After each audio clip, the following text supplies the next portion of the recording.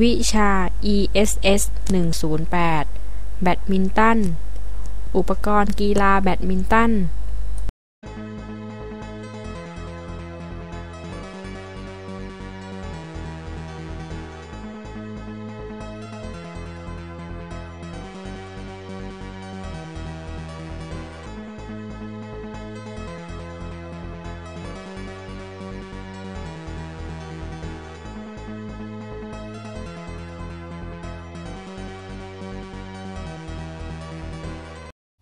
อุปกรณ์ที่มีความสำคัญ และมีความจำเป็นของกีฬาแบดมินตัน แบ่งออกเป็นสองส่วน คือ อุปกรณ์ส่วนรวม และอุปกรณ์ส่วนตัว อุปกรณ์ส่วนรวมได้แก่ 1. สนามแบดมินตัน เช่น ห้อง พื้น เส้น เสา ตาข่าย ฝาผนัง แสง เสาไฟ 2. ลูกขนไก่ เช่น ลูกขนไก่ ลูกไนล่อน อุปกรณ์ส่วนตัวได้แก่ 1. เครื่องแต่งกาย เช่น เสื้อ กางเกงหรือกระโปรง ถุงเท้า รองเท้า เครื่องรัดผม ผ้าพันข้อมือ 2. ไม้แบดมินตัน เช่น กรอบไม้ กรอบโลหะ คาร์บอนไฟเบอร์ ก้านคู่ อุปกรณ์ส่วนตัว เครื่องแต่งกาย เสื้อ นิยมใช้เสื้อชนิดมีปก พื้นสีขาว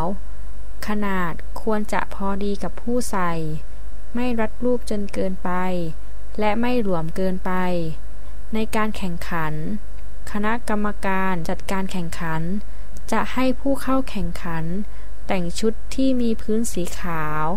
และจะต้องเอาชายเสื้อไว้ในกางเกง เครื่องแต่งกาย กางเกง กางเกงหรือกระโปรง ผู้ชายส่วนมากจะสวมกางเกงขาสั้น และผู้หญิงจะนุ่งกางเกงหรือกระโปรงก็ได้ ไม่รัดรูปหรือหลวมจนเกินไป จะทำให้การเคลื่อนไหวไม่สะดวก เครื่องแต่งกาย ถุงเท้า ควรเป็นถุงเท้าสีขาว หรือพื้นขาว อาจมีลวดลายเล็กน้อย พื่อให้เข้ากับรองเท้า ถุงเท้า ควรหนาพอสมควร เพื่อกันการเสียดสี เครื่องแต่งกาย รองเท้า มีทั้งผ้าใบ และวัสดุอย่างอื่น สีขาว ควรมีพื้นฟองน้ำรองรับด้านล่าง พื้นรองเท้า ควรราบราบหัวรองเท้าอย่าให้แหลมนัก เพราะจะบีบปลายเท้าของผู้เล่น ควรเลือกรองเท้าหัวป้าน รองเท้าต้องไม่มีส้น และที่สำคัญคือ รองเท้าไม่ควรมีน้ำหนักมากแร็กเก็ต frame ของแร็กเก็ตยาวทั้งหมดไม่เกิน 680มิลิเมตรและกว้างทั้งหมดไม่เกิน 230มิลิเมตรส่วนต่างๆ ด้านจับเป็นส่วนของแร็กเก็ตที่ผู้เล่นใช้จับ พื้นที่ขึงเอ็น เป็นส่วนของแร็กเก็ตที่ผู้เล่นใช้ตีลูก บริเวณที่ใช้ขึงเอ็น ก้าน ต่อจากด้ามจับถึงหัวคอ ต่อก้านกับขอบหัวตอนล่าง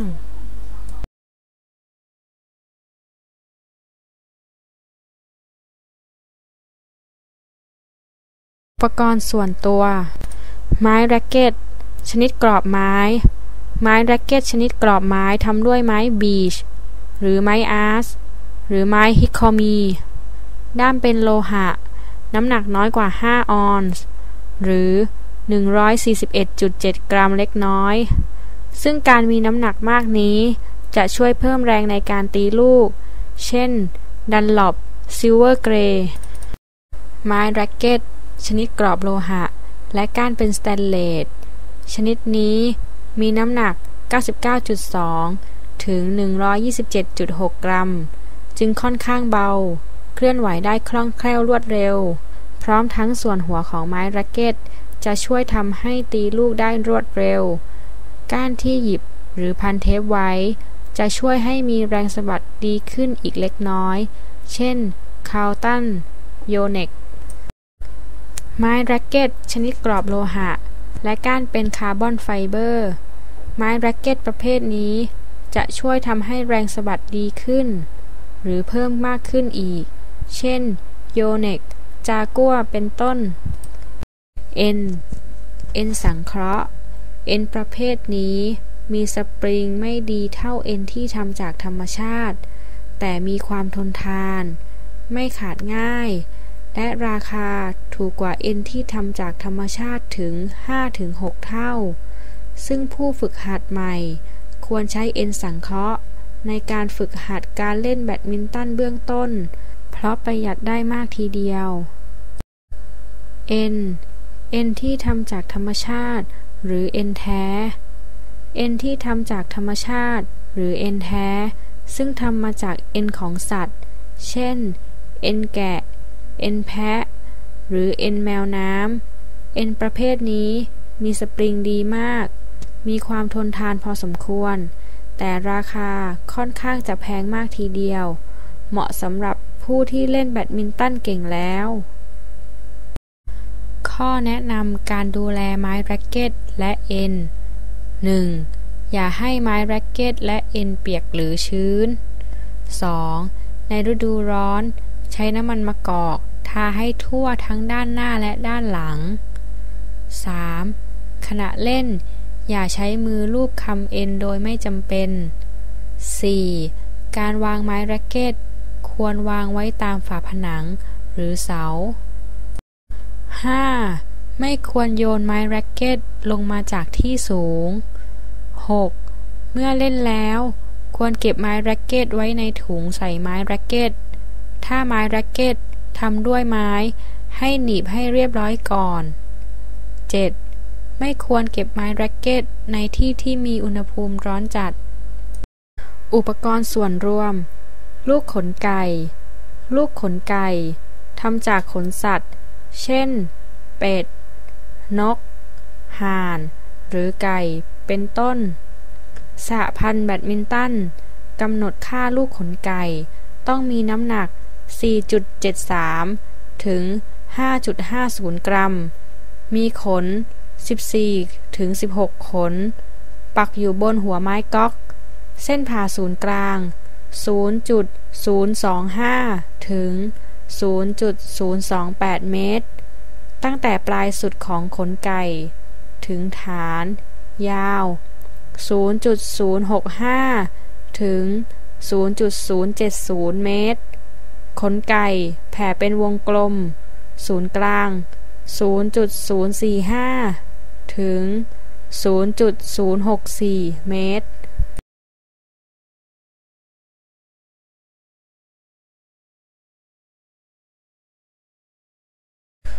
ลูกขนไก่ ลูกไนล่อน เนื่องจากลูกขนไก่ นับวันก็ยิ่งราคาแพง หาได้ยาก และมีผู้ที่นิยมเล่นกันมากขึ้น จึงมีผู้คิดทำลูกแบดมินตันไนล่อน ขึ้นมาใช้แทนลูกขนไก่ เนื่องจากมีราคาถูกและทนทานกว่า ในปัจจุบันมีผู้นิยมใช้มากขึ้นในทุกๆประเทศ ตอนบนของตาข่าย ติดแถบสีขาวพับครึ่ง ขนาดกว้าง 3 นิ้วฟุต หรือ 0.0076 เมตร ริมขอบตาข่ายห่างจากพื้นสนามตรงกลาง 5 ฟุต หรือ 1.528 เมตร และที่เสา ต้องสูงจากพื้นสนาม 5 ฟุต 1 นิ้ว หรือ 1.55 เมตร ตาข่ายต้องดึงให้ตึง โดนผูกกับเสาทั้งสองข้างสนาม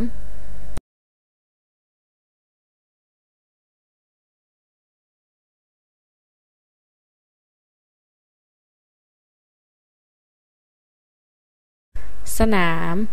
ห้อง ปกติห้องโถง ที่ใช้เล่นแบดมินตัน ควรมีความสูง โดยเฉลี่ยจากตำแหน่งกลางสนาม 25-30 ฟุต หรือ 7.6 ถึง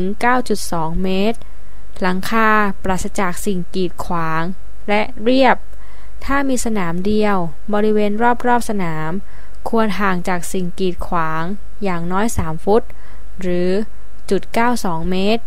ถ้ามีมากกว่า 1 สนาม ก็ควรห่างกันอย่างน้อย 4 ฟุต สนาม พื้น พื้นสนาม ควรเป็นคอนกรีต หิน หรือปาเก้ ซึ่งเป็นไม้ ปกติพื้นที่เป็นไม้ จะไม่ลื่น สนาม พื้น พื้นสนามควรเป็นคอนกรีต หิน หรือปาเก้ ซึ่งเป็นไม้ ปกติ พื้นที่เป็นไม้ จะไม่ลื่นไม่ปลอดภัย วิธีป้องกันคือ ฉีดสเปรย์น้ำมันพาราบนพื้นบางๆให้ทั่ว นอกจากนั้นยังมีพื้นสนามสำเร็จรูป ที่มีราคาค่อนข้างแพง แต่ไม่ปลอดภัย และสะดวกรวดเร็ว สนามดังกล่าว มีพื้นที่เคลือบพลาสติก และมีเส้นต่างๆ พร้อมอยู่แล้ว เรียกว่าโควาคอร์ด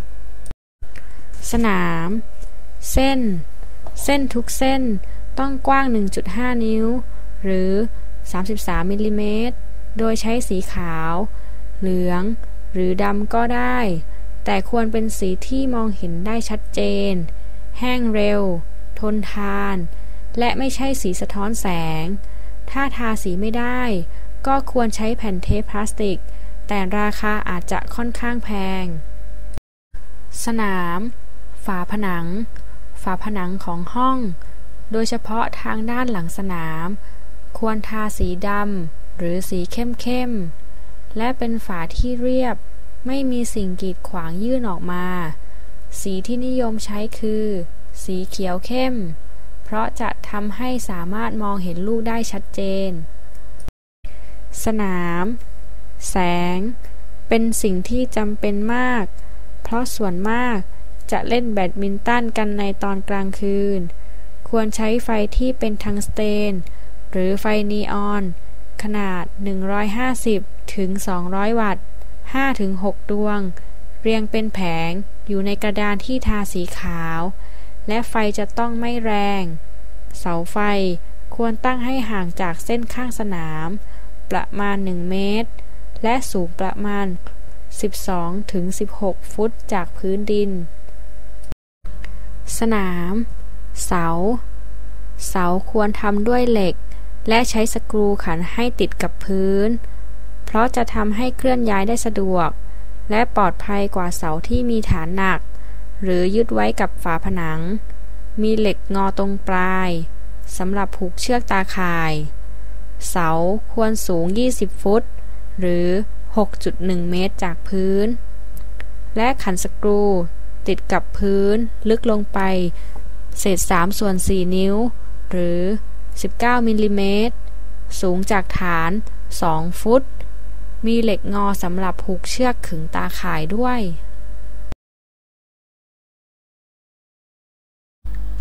การยอมรับอุปกรณ์สะพันแบดมินตันนานาชาติ จะกำหนดกฎเกณฑ์เกี่ยวกับปัญหาของแร็กเก็ต ลูกขนไก่ หรืออุปกรณ์ต้นแบบ ซึ่งใช้ในการเล่นแบดมินตัน ให้เป็นไปตามข้อกำหนดต่างๆ กฎเกณฑ์ดังกล่าว อาจเป็นการริเริ่มของสหพันธ์เอง หรือจากการยื่นความจำนงของคณะบุคคล ที่มีผลประโยชน์เกี่ยวข้องอย่างแท้จริงกับผู้เล่น ผู้ผลิต หรือองค์กรแห่งชาติ หรือสมาชิกขององค์กรนั้นๆ